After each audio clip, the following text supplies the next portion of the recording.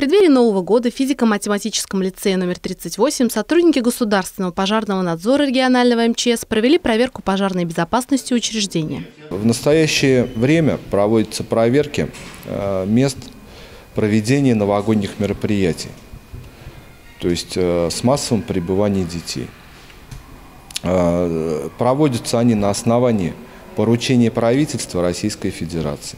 В школах обращается внимание на работоспособность автоматических систем противопожарной защиты. В первую очередь проверяется исправность турникета и пожарной сигнализации. Именно она должна сообщать всем находящимся в здании людям о пожарной опасности. Кроме того, инспекторы проверяют наличие первичных средств пожаротушения, огнетушителя, исправность наружного и внутреннего противопожарного водоснабжения. Обращается внимание на наличие в здании препятствий к аварийным выходам. Препятствия – это разнообразные решетки, складируемые стройматериалы, мусор. В случае возникновения реальной опасности все это может препятствовать нормальному прохождению учеников и сотрудников школы к безопасному выходу. Сложные ситуации дороги каждая секунда, а цена промедления – это жизнь. Вопрос безопасности – это детей э, номер один. Мы должны создать все условия для безопасного пребывания.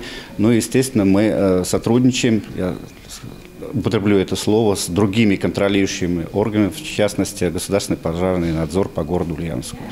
Они нас регулярно проверяет, и они тоже держат руку на пульсе. В школе проходят как внеплановые, так и плановые проверки пожарной безопасности в соответствии с 294 федеральным законом и рискоориентированным методом. И судя по тому, как дети радостно встречают инспектора и быстро отвечают на его вопросы, можно сразу понять, что этот человек здесь частый гость. По словам инспектора, подобные внеплановые противопожарные проверки до конца года пройдут во всех школах города Ульяновска и пригородной зоны. Наталья Чумаченко, Юрий Ломатов, Новости Ульяновской правды.